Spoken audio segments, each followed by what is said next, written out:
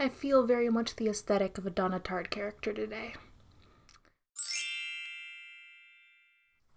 Hi guys, welcome back to my channel, or if you're new, welcome. My name is Monica, and today I'm actually really excited for this video because I put together some singles to make a mini palette based on my absolute favorite book of all time, which is The Secret History by Donna Tartt. For those of you that don't really know, I don't talk a whole lot about my job, but I did used to work at a bookstore for a couple of years, and I've been an avid reader for my entire life. I know for a, a true book lover, like what's your favorite book, it's a little bit hard.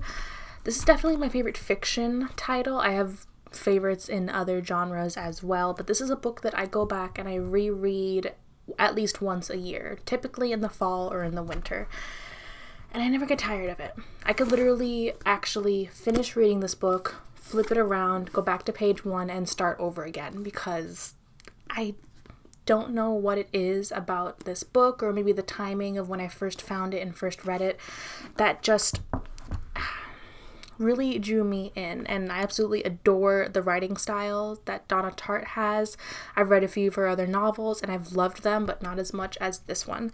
So I put together a few singles and made a little palette of six shades and I'm going to share with you that little palette. I'm wearing it on my eyes today and I'm going to explain why I chose each shade. So before we jump into the video, I hope if you like it, you'll give it a thumbs up. And if you really want to see more videos like this, creating palettes, doing looks, talking about you know, favorites other than makeup, please let me know with a like and with a comment down below. And I hope if you haven't already, you'd consider subscribing and hitting the little bell icon so you're notified whenever I post a new video every Monday through Friday. So we've already talked a little bit about the book. I actually first read this book when I was 17 right after high school. This was actually assigned for one of my high school classes. This was called uh, WECS, W E C S. It was Western European Cultural Studies. And it was a night class that I took, and it was one of like the recommended titles for our final paper. I wrote my final paper on another title, I actually can't even remember right now, but I remember this being a recommended title that I picked up because whenever we had books that people recommended, I always got them and I would always read them. But I picked this one up while I was still in school, but afterwards, I didn't actually get to read it until after I graduated in the summer.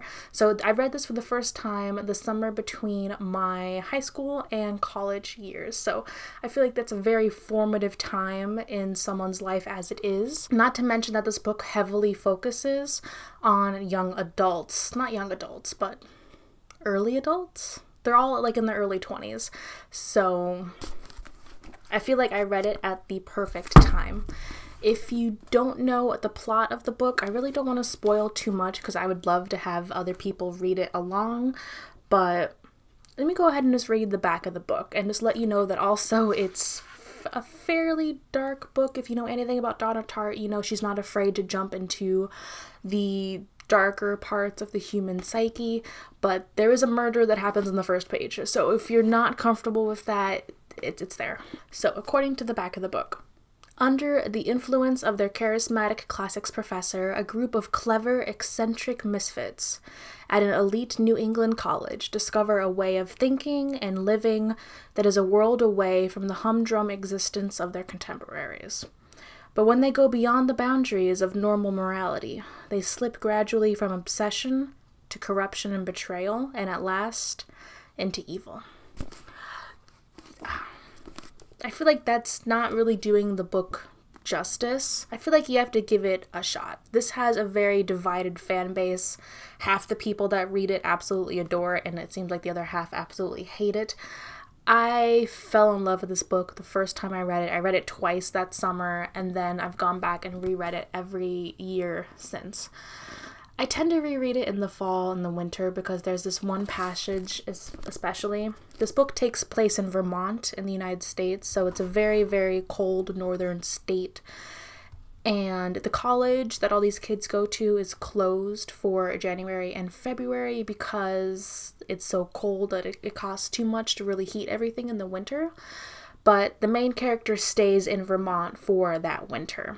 And the imagery and just those chapters that focus on that winter just get to me and they're so beautiful and terrifying. In this book, beautiful equals terrifying. You'll see that. And I find something new every time I read through this book. And I feel like this book has a major impact on like who I've become and how I see myself.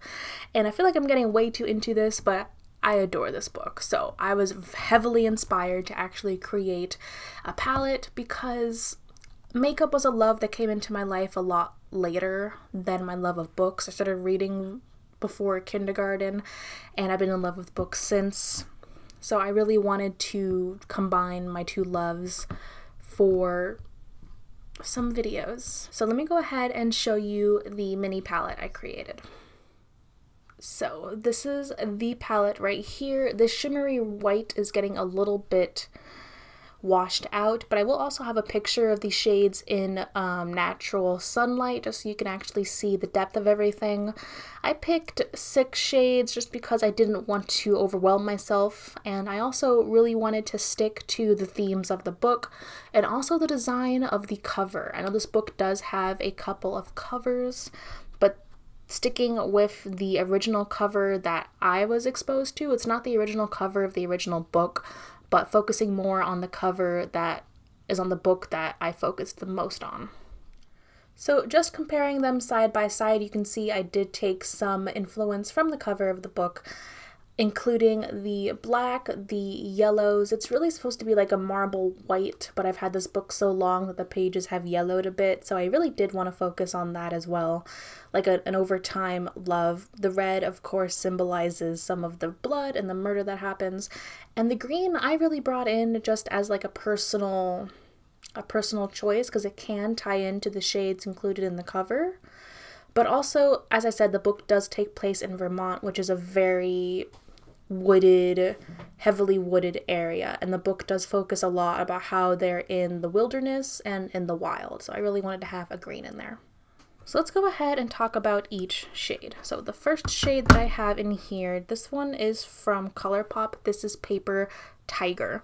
I'm going to have swatches and everything uh, just pop up on my face in between as I talk about all of these because I know the lighting in the middle of the night right now is not the best. So Paper Tiger is just a pale mustard yellow. I felt like this really captured not only the cover but also the time period. This book does okay, so this book was published the year I was born, 1992, and it does take place that year in Vermont. So if you do read this book, you'll see that there are no cell phones. You have to use a payphone in order to contact people. People are still using typewriters in school even though computers had been out had they been out? They hadn't been widespread, but they'd been invented at least. So I felt like this mustard shade just really fit, and I'm wearing it currently in my transition and under my lower lash line. The next shade that I chose is actually Runa. This is a Devinah Cosmetics single, and it's a blood red shade, and that's all I can really describe it as. It is extremely pigmented, and I felt like no palette for this book would be complete without Blood Red. This book does deal with ancient Greek classics, classicism, specifically the god Dionysus and Bacchanalias, so it would not be complete without a red. And also, if you look closely at the cover of the book, it is outlined with small lines of red.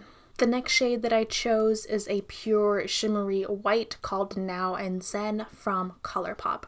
This symbolizes the snow for that very, very compelling winter chapter set. I don't know what to call it, like a, a scene, not exactly a scene, it's, it's a passage. And I'm using this on my inner corner today. I absolutely adore this for highlighting. I don't like it for like all over the lid because it can get a bit chunky, but for highlighting it is gorgeous and it does look just like freshly fallen snow.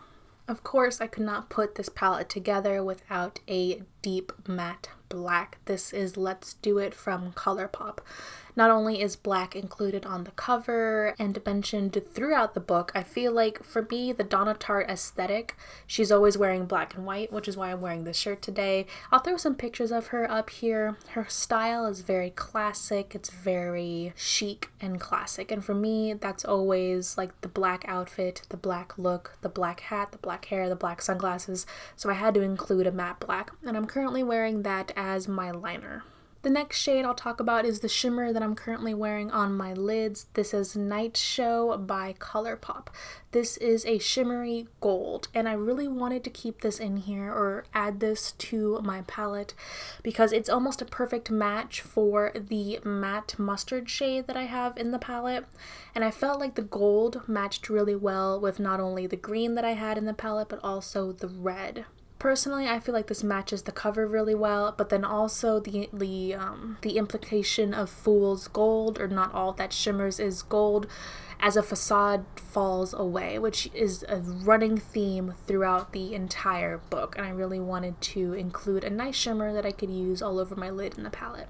The last shade I'm going to be talking about is the one I've used in the majority of my look all over in my transition and on my lower lash line as well. This is a deep matte army kind of green emerald which is called Team Captain and it's by Colourpop. I really wanted to bring in a green to this palette just to kind of balance out the color story and also to symbolize the fact that this book does take place in the middle of like the woods in Vermont but I didn't want to go with like a bright green or anything that wouldn't match the other colors too well.